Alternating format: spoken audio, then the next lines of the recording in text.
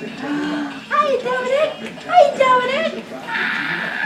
I was showing off your picture today. Hi, Anthony. Hi, happy boy. Angeline,